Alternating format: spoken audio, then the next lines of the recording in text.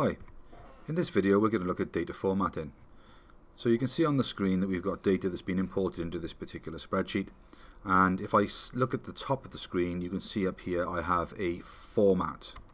Okay, so currently you can see that the format is set to general um, and whichever cell I select that will change um, the view of this but as you can see as I click through the spreadsheet all of these um, fields, all of these cells are all formatted to a general data type and that's the default data type that's uh, allocated to any data that's entered into a spreadsheet.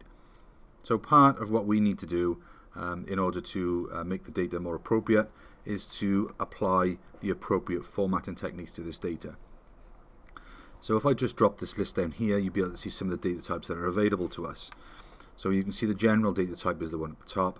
Then we have numbers, which would be a, a, a number data type. We have currency, which will allow you to put pounds and pence. Uh, we have dates.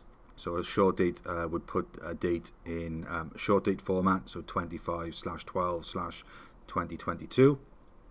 And a long date would put obviously the date in a long date, so 25th of December 2022. Uh, we have uh, percentages, we have uh, text. So we need to look at the data that's in the spreadsheet and decide what uh, which of those data types is going to be the most appropriate for the column that we're looking at. So let's uh, start looking at some of this data.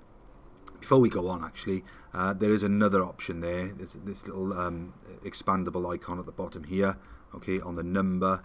Uh, if I drop that down, that opens me up the format cells option, which gives me another different way of working with data types um, and allows me to do other things such as uh, cell alignment, um, protection and filling and things like that but we're not going to use that.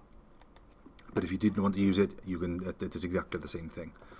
So let's start looking at some of these columns then. So column A is the question number column, and as you can see, that uh, column contains numbers. So um, that's probably going to be the data type, or the most appropriate data type that we're going to use for that column. The same would apply to age, because they're just numbers. If I had a mixture of letters and numbers, like a postcode for example, then that would not be an appropriate data type for number, and neither would currency. So for example, if I had um, uh, 11.99 and that was supposed to represent currency, format that data type as a number would not be appropriate. We have the gender column. Uh, as you, you, can see, that all the entries in there are, are text only. We have uh, the preference column, and you can see that all the data types in there are um, text only. We have um, the uh, this the play on console column, which are all Y's and N's. We have um, this column I, which talk about the number of ga uh, hours gaming per week. Um, then uh, those are all letters. We have the number of hours you played, which are all uh, numbers, and then we have the game player movement column. So we're going to start looking at these um, these columns. So I'm going to highlight from the bottom up. The reason I do that is because if I highlight from the top down, if I do this, okay, click and drag, okay, when I get to the bottom, it just carries on and it, it can go a bit crazy. So I always find it easier to come to the bottom of the row of the column, highlight up, and then it's going to stop when it gets to the top. So you can see that that column is formatted as a general data type. So what I want to do is drop this list down, and I'm going to select the number data type. And what you'll find is when you click the number data type, it's going to add in decimal places. Okay, so we want to get rid of those decimal places because we just want a whole number.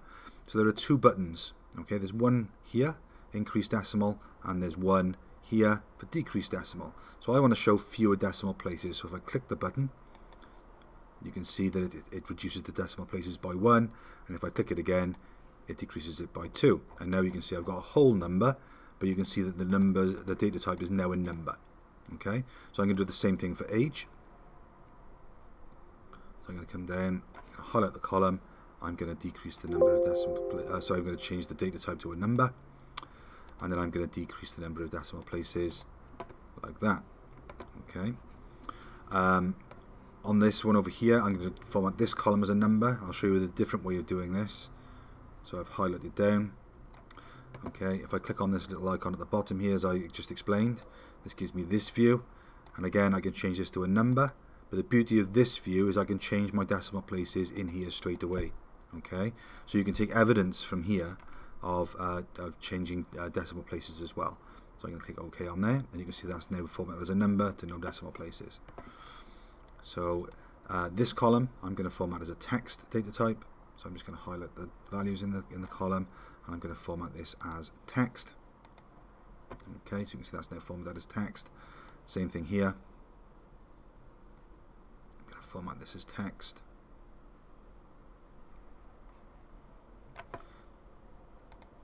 and the same thing on uh, the rest of the text columns. So this time I can highlight more than one column at a time. I'm going to format that as text. And then finally the game player movement one, I'm going to highlight this column and I'm going to format that as text as well. And that is how you format values in cells in a spreadsheet.